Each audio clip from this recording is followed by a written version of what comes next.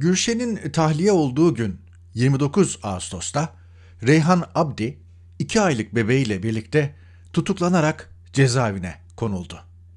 Gülşen'le ilişkilendiriyorum çünkü tahliye gerekçelerinden biri de bakmakla mükellef olduğu yaşı küçük çocuğunun bulunması idi. Gülşen tutuklanınca tüm kamuoyu AKP'liler dahil ayağa kalktı. Sosyal ağları yabana açmayın. Kolektif bir çığlık yükseldiği zaman Ankara'nın direnci kırılıyor. Sezen Aksu olayında da böyle olmuştu.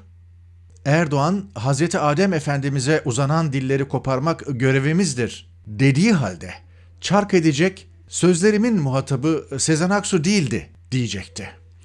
Efsane geri viteslerden biridir. Sezen Aksu ve Gülşen etrafında kenetlenen kitleler Reyhan Abdi'ye duyarsız kaldı ve kadın iki aylık bebeğiyle birlikte tutuklandı. Bu yönüyle Türkiye halklarından umutlu olmak için çok bir sebep yok.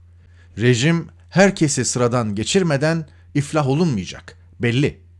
Tuhaf olan mahalleler fena halde durumun ve tutumunun farkında. Buna rağmen susuyorlar, hatta kin duydukları çevrelere dönük operasyonları içten içe alkışlıyorlar. Bu yüzden Kemal Kılıçdaroğlu'nun KHK'lıların tamamı görevlerine iade edilecek sözü kendi partisinde dahi destek bulmuyor. Bakın Ali Fuat Taşkesenlioğlu'nun Bankasya geçmişine atıfta bulunup onu cemaatten yargılayanlar, ağızlarından kaçırdıkları bankanın önünden geçenler bile tutuklandı sözleriyle nankörlüklerini itiraf ediyorlar esasen. Savcılar nerede diye soran, hafızası her sabah sıfırlanan ahaliden yığınla beğeni ve paylaşım alan bir güruh bu. Aslında çok iyi biliyorlar ki mesele savcıyla bitmiyor. Ve yine her fırsatta ölmüş yargıyı meşrulaştırmaktan geri durmuyorlar. Ülkede başvuracak merci kalmadı. Bunu sınırlı bir kitle görüyor. Son hafta içinde bunlardan ikisi doğrudan Sedat Peker'e vekalet verdi. Ünsal Ban ve Nihal Olçok.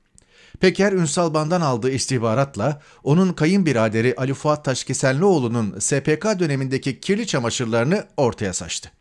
Eski eşini ve oğlunu 15 Temmuz'da Boğaziçi Köprüsü'nde keskin nişancı atışı sonucu kaybeden Nihal Olçok'a ise söz veremedi. Bu ağır yükün altından kalkamazsam, başarılı olamazsam beni lütfen kınamayın dedi. Çünkü biliyor ki 15 Temmuz'a dair kritik bir ifşada bulunursa kurgulanan yapı domino taşları gibi birbiri üstüne devrilebilir. Bunun altında sadece Erdoğan değil Peker de kalır.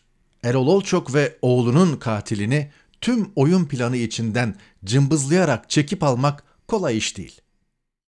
Nihal Olçok'un dramıyla KHK'lıların durumu birbirine çok paralel.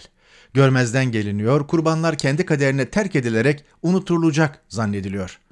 Geçmişe kalın bir sünger çekmenin hakları iade etmekten daha kolay ve ülke yararına olduğu varsayılıyor. Normalleşmeyle ortaya çıkacak kargaşayı yönetemeyeceklerini düşünüyorlar. Diyelim ki tüm bunlara rağmen halk seçimde iktidarı değiştirdi ve saraydaki zat yenilgiyi kabul etmiyor. Muhalefetin bu konuda bir stratejisi var mı? Sanmıyorum. Ama Sedat Peker'in var. Konu da bu zaten.